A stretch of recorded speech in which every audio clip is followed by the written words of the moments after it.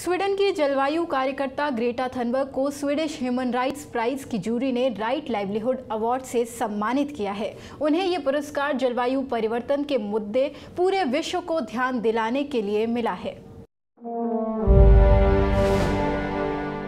Sweden की जलवायु कार्यकर्ता ग्रेटा थनबर्ग को बुधवार को राइट लाइवलीहुड अवार्ड से सम्मानित किया गया। स्वीडिश ह्यूमन राइट्स प्राइज की जूरी ने बताया कि इस अवार्ड को वैकल्पिक नोबेल पुरस्कार भी कहा जाता है।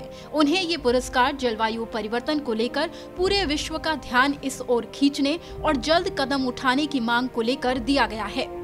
ग्रेटा थनबर्ग के साथ साथ इस साल ये अवार्ड तीन अन्य लोगों को भी दिया गया है। इनमें मोरक्को की मानव अधिकार कार्यकर्ता अमीन ताव हैदर, चीन में महिलाओं के अधिकार के लिए काम करने वाली वकील गो जियानमेई और ब्राज़ील में अमेजोन के जंगलों को बचाने के लिए अहम भूमिका निभाने वाली डबी कोपेनवारा को भी इस अवार्ड से सम्मानित किया गया है। इससे पहले ग्रेटा थनबर्ग को Amnesty International ambassador of conscience award से भी सम्मानित किया जा चुका है। इसके साथ ही इसी साल मार्च में ग्रेटा को नोबेल शांति पुरस्कार के लिए भी नॉमिनेट किया गया है।